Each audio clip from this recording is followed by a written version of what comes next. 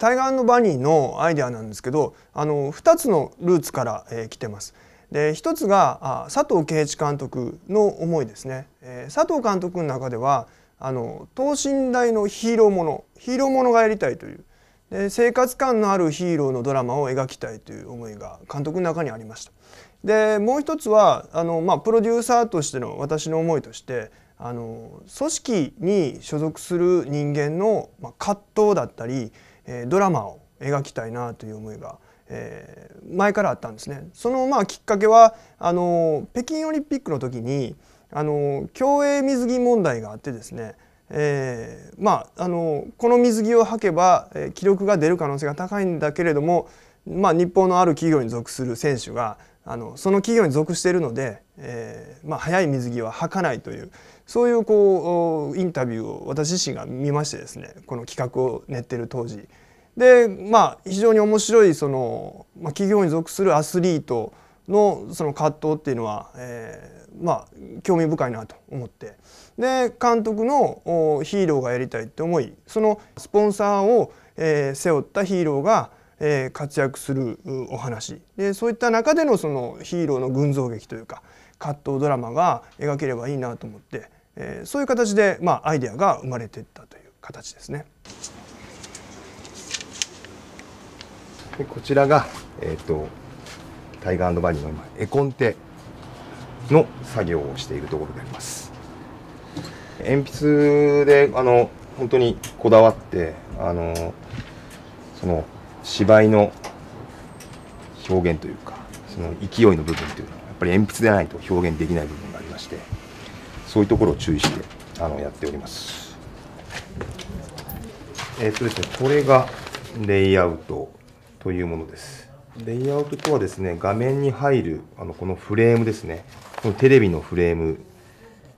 の収まりをあの確認するためのあの絵ですね。これをもとにあの原画を起こします。あ、このキャラクターはブルーローズですね。ブルーローズのあの、えっ、ー、と、ジュースを飲むシーン。今テレビ、日本の方でやっているのは、スポンサーのえー、会社の、えーと、飲み物になるんですけどもそれの今テストのこのレイアウトでございますでこれをもとにあの原画を描きますあのタイガーバニーの、えー、ヒーローのコスチュームデザインをするにあたって、えー、特に意識したのはあのそのバリエーション性ですね。この作品では、えーまあ、8人のヒーローが出てくるんですけど、えー、やっぱりまあ8人、あの、それぞれ多種多様な、えー、スーツであるべきっていうのがまず根っこにありましたんで。であのまあ、えー、舞台そのものもあの、まあ、人種のるつぼとされる近未来都市を設定してますんでまずそのキャラクター自体がさまざまなその人種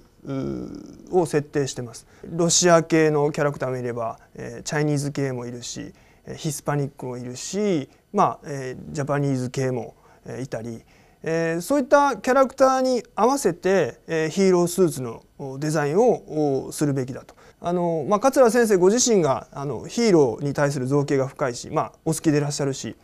あのアメコミのヒーローもあの非常にお好きでで佐藤圭一監督もそういったところがすごく好きなんですね。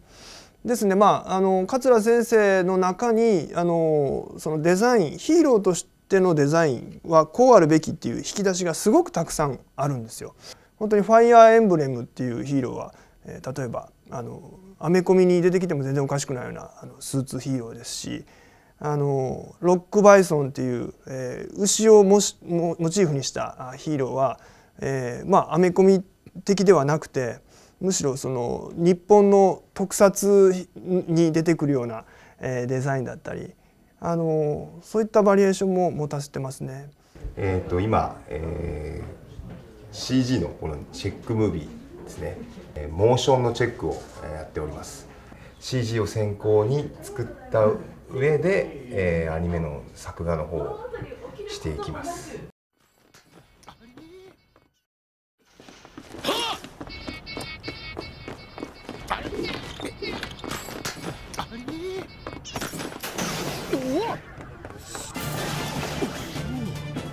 よく見とけよ。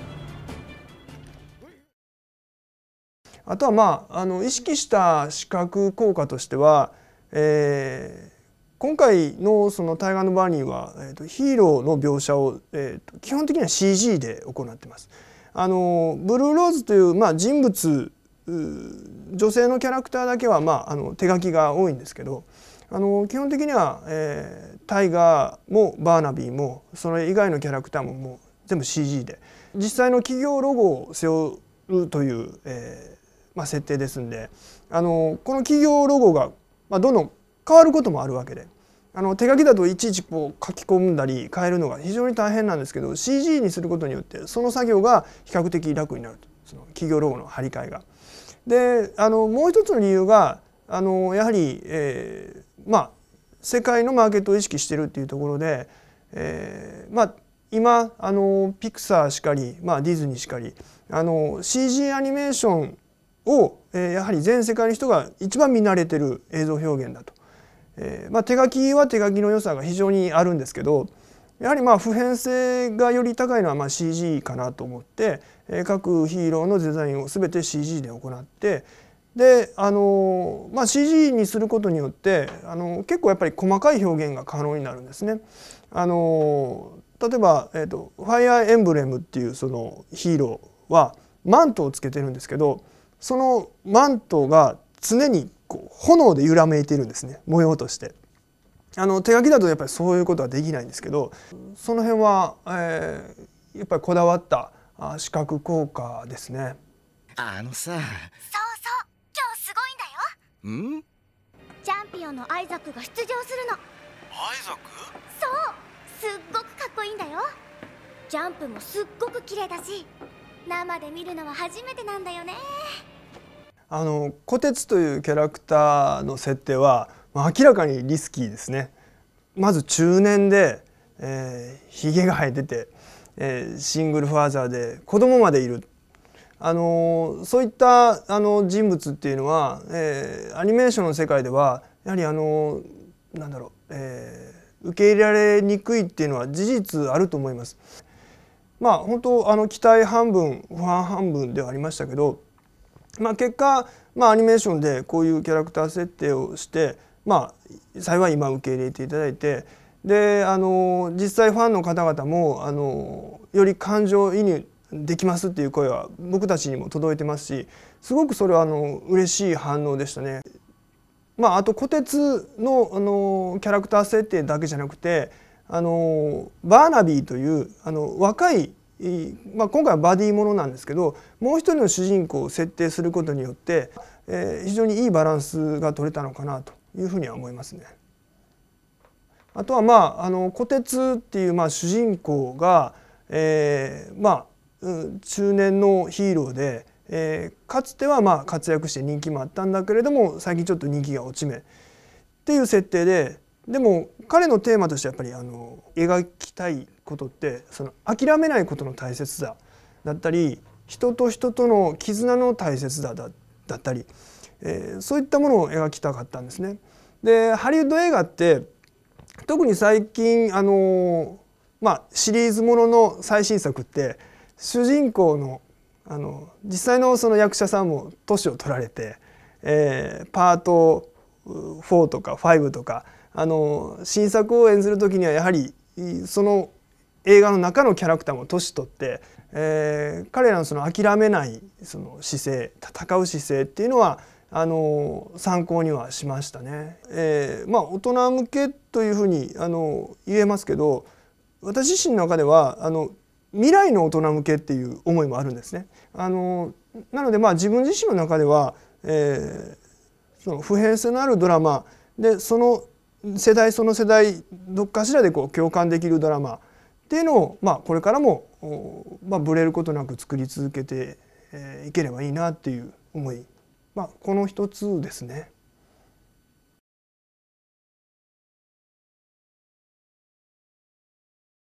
えーと、最初に関わらせていただいた企画プロデューサーとして関わらせていただいた作品は「えー、機動戦士ガンダムシードスターゲイザー」という OVA です。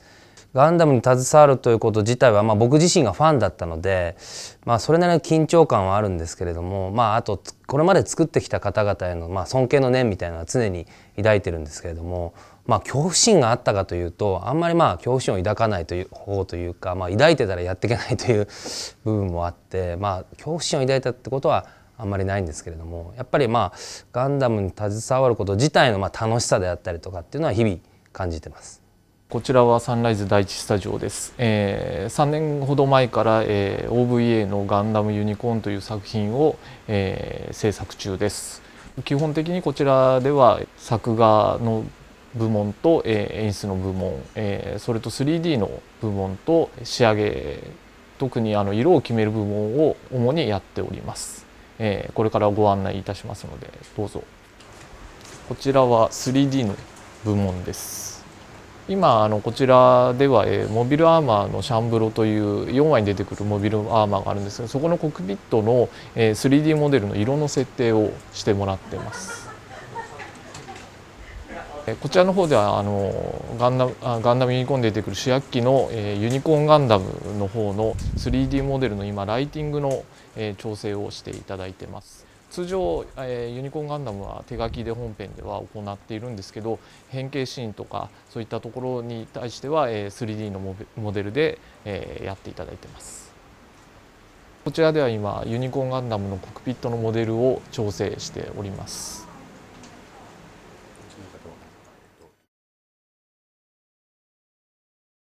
まあ、直接ファンの方とお話をするという機会はなかなかないんですけれども、えー、ガンダムシード以降の作品っていうのは結構たくさんイベントを行ったので、まあ、イベントの会場などでお客様の、えー、まあ思考だったりとかどういうキャラクターが好きだみたいなことを、まあ、肌で感じることは非常にあの作品にも役立ってますし、まあ、取り入れられるものは取り入れていってきたかなという状況です。企画する前というのは、えー、ガンダムにとって何を残して何を新しくするかっていうのを一番最初にすごく考えますやっぱりガンダムである以上は残さなきゃいけない部分もたくさんありますしただ今のお客さんに作品を届けるためにはやっぱり新しい要素をたくさん加えていかなきゃやっぱり今のお客さんにヒットさせることができないのでまずそこを一生懸命考えるようにします。でやっぱり宇宙世紀ものっていうのは変えない量が多いと思いますしやっぱりテレビでかけるティーンネイジャー向け作品っていうのは変える量がおのず大きくなってくると思うのでそこをまず最初に考えますね。なんであの作品を企画する上ではまずそれがあの今までのファンの方向けの作品なのか新しいファン向けの作品なのかっていうのを、えー、最初に考えるようにしてます。監督の方に、えー、第5話で出てくる美術の、えー、美術のチェックをしてもらってます。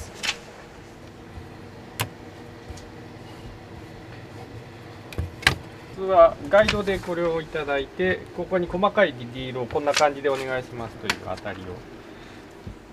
ガルーダという船の中。中中。なんていうんですかね。そう内装格納庫。格納庫デッキの、えー、ディティールを今書いていただいているところ。あなんかです。ラフを書いてそこから本業の人に書いてくる。という。イメージを伝えるちょっと難しい。あれですねえー、こちらではあの第4話で出てくる先ほどコックピットを 3D で作ってたんですけどモビルアーマーの、えー、シャンブローの、えー、メカ作艦を入れていただいてます、えー、こちらでは今第4話の原画をアニメーションの、えー、キャラクターデザインで、えー、キャラの作画監督の、えー、方に、えー、修正を今入れていただいているところです。主役のバナージが砂漠を歩いてるカットですね。今この中君が怒られてるとこ海外メディアで映していいですか？色の打ち合わせですよね。こちらでは今あの4話で出てくるジェスタというモビルスーツの、えー、色を、えー、決めてる作業をしてもらってます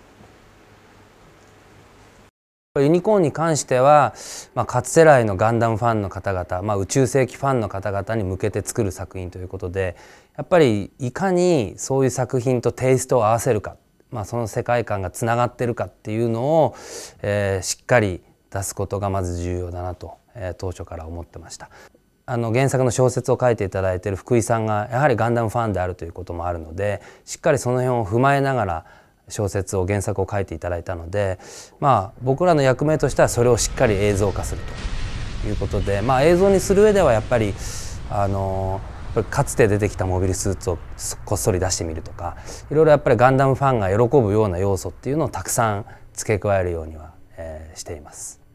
え、この10月から、え、今年の10月から「機動戦士ガンダムエイジ」という作品をテレビで放送する予定になってます。でこの作品に関しては、えー、ガンダムで初めて主人公が親子3世代ということで3代にわたって主人公を描くというまた新しい、えー、ストーリー展開になってます。また、えー、キャラクターデザイナーデザインの部分で、えー、これまでとはちょっと違ったようなテイストのキャラクターを起こしてますので、まあ、できれば今までのガンダムファンの方々にプラスして、えーまあ、小さい子供なんかにも見てもらえるような作品にできればいいかなとえー、考えてます、えー、1972年にはサンライズという会社が創立されてまして、えー、当時手塚治虫さんの「虫プロ」という日本ではテレビアニメーションの中心のプロダクションであった会社がですねあの解散に徐々になっている中で虫プロにいた人たちがサンライズ会社を立ち上げました。虫プロというプロダクションが、えー、手塚治虫さんというですね、えー、クリエイターを中心にして、えー、会社を運営してきたと、まあ、その長所と弱点を見てきて、まあ、自分たちは、えー、クリエイターを中心にするんではなくて、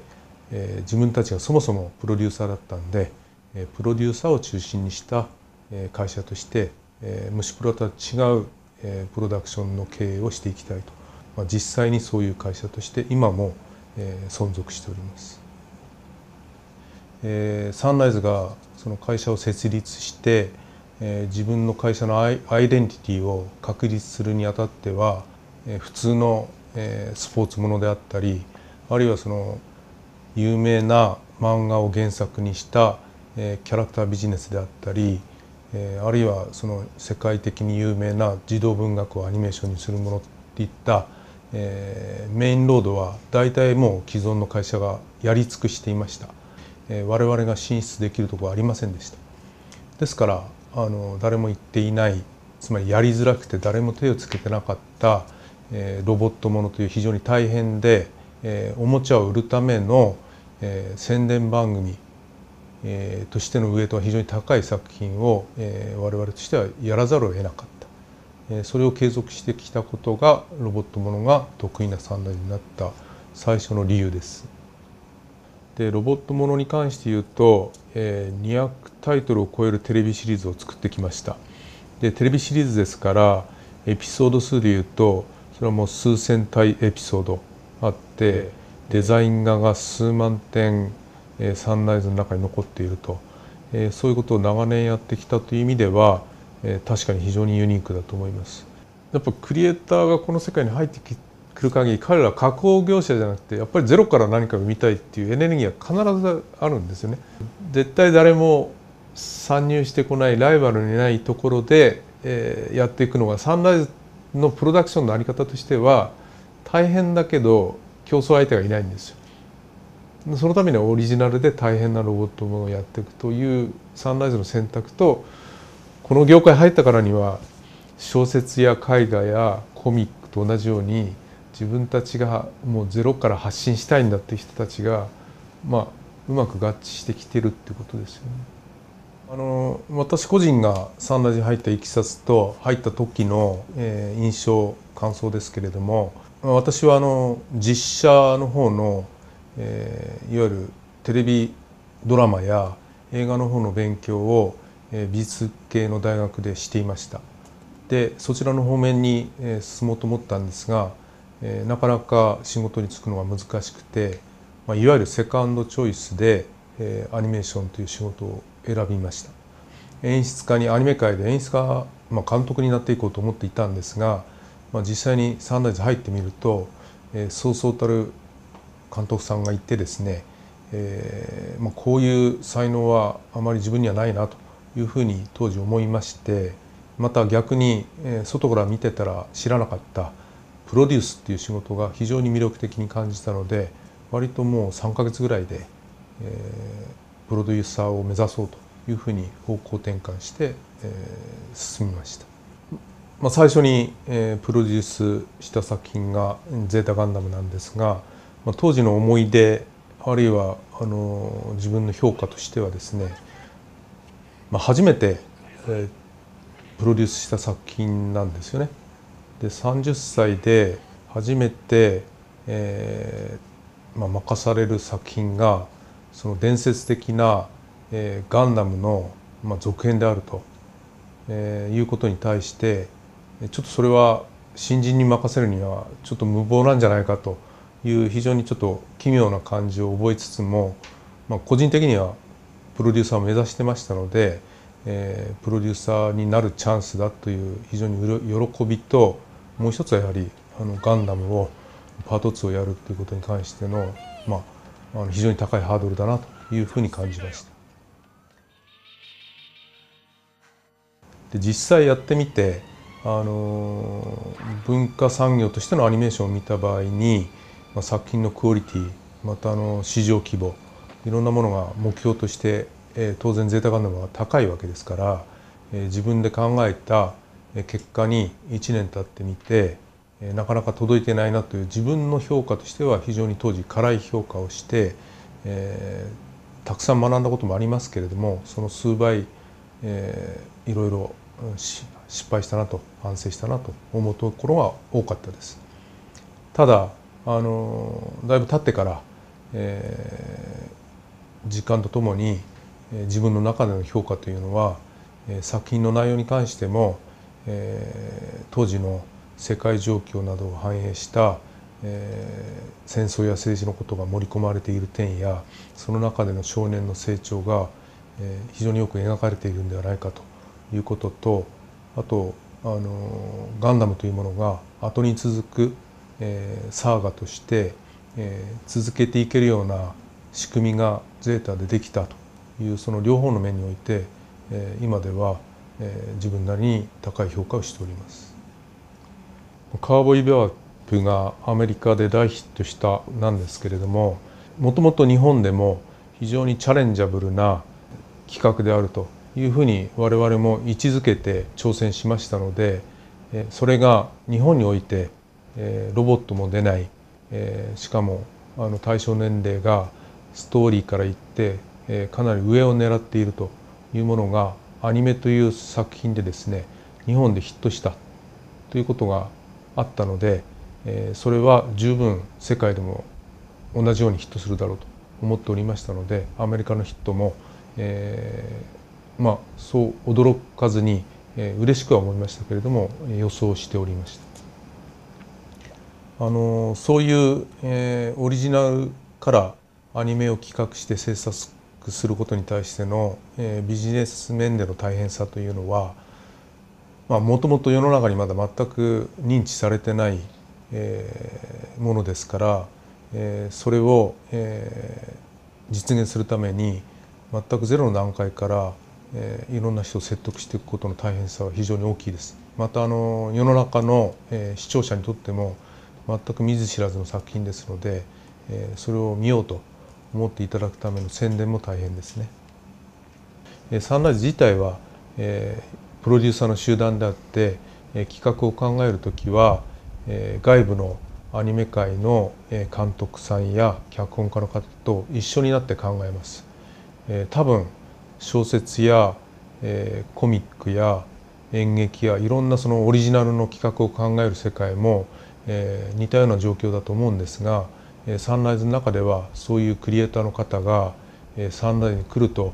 え、実際にそれが絵として動いた時に非常にいい作品になるとかあるいはテレビ局や、え、ビジネスのパートナーがたくさんいるので、まあ、実現するとかあるいは成功したら、え、インセンティブのリターンがあるとかいろんな形で一緒にパートナーになっていきやすい、え、土壌を作っています。サンライズの社長に私が就任した年にアニメの産業というものが、えー、世界の政治や思想の分岐点にたまたま立っていたんだと思います。えー、またあの技術デジタル系の技術のテクノロジーの発達とそれによるコミュニケーションの変化もその時に、必然的に同時に起こってそういうものは全てアニメ界に大きな変革を促す時期だったと思います。ですから大変というよりはそういう事実とそこにある本当の理由を知っていくことに努めました。あの曲がり角に来てること自体は正しいと思います。じゃあその本質の問題は何かというと、えー、手塚治虫さんが、えー、テレビアニメーションというものを、えー、開拓したり、えー、ジブリや宮崎さんが、えー、ファミリー向けの、えー、劇場映画という文化と市場を開拓したあるいはサンライズと富野さんが、えー、ガンダムから始まるコアファンあるいは映像ファンパッケージファンという市場を開拓した。えそういうことが時々今まで、え数十年に一度あったんですがここ30年、えそういう大きな扉を開けることが、えしていないというのが一番大きな問題だと思います。やはり非常に天才的なクリエイターが一緒になって大きな扉を開けない開けない限り、え次の大きな展開はないと思いますのでそういうクリエイターを、えサンライズも含めて探して一緒に世の中に大きな市場を獲得することが必要だと思います。ビジネス的な面から言うと、えー、資本主義とか個人が物を買うとか、えー、いろんな部分が、えー、映像産業においてはたかだか100年ぐらい、えー、そういうビジネススキームの中で、えー、お金が集まりでそのお金で次の作品を作っていくっていう時代がありましたけれども、えー、小説とか、えー、絵画とか演劇を見ていくともっと数百年前から、えー、立派な作品がもっと全然別のビジネス的なあるいは経済的な仕組みの中で生まれてきてました。多分あのこの大きな転換点以降、えー、著作権とかあるいは個人個人からお金を、えー、回収して次の作品に投下するという仕組みとは全く異なったものも構築してむしろそちらの方が大きなウエイトを置いてそのエネルギーを次の作品に投下するっていうパラダイムシフトが起こるんではないのかなとあるいは起こさないといけないなというふうに思っております。